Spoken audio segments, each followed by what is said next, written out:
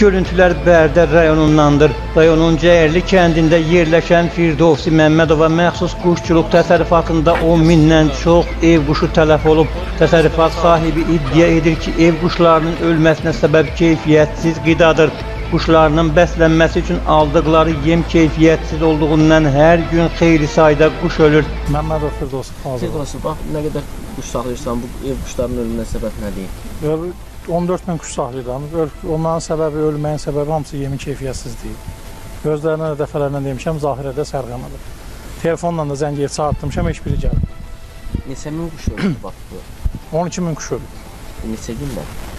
Hardasa bu ay yarımın içində ölür, çağırıram, heç biri də gəlmir. Nə qədər ziyan dəyib? 35 min, 30 min. Ana qiymətinə satanda. Ziyan. 40 min, bəli. Və ölümün səbəbi nədir bu quşların? Hamısı yemin keyfiyyətsizliyi.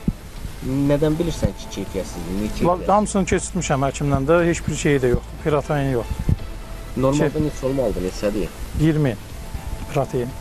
Amma bunların yemin keyfiyyəti 12 protein.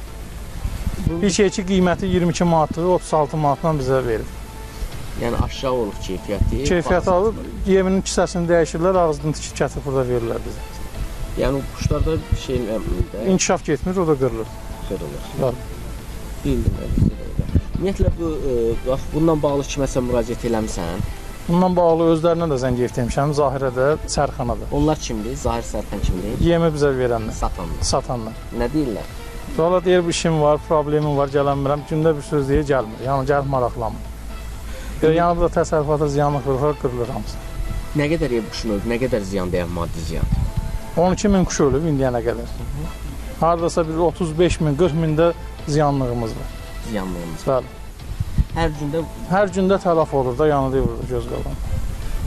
Məsələ ilə bağlı yem satışı ilə məşğul olan Zahid Adı Gözəlovla əlaqə saxladıq. O bildirdi ki, burada məhsulun keyfiyyətsiz olmasından söz gedə bilməz.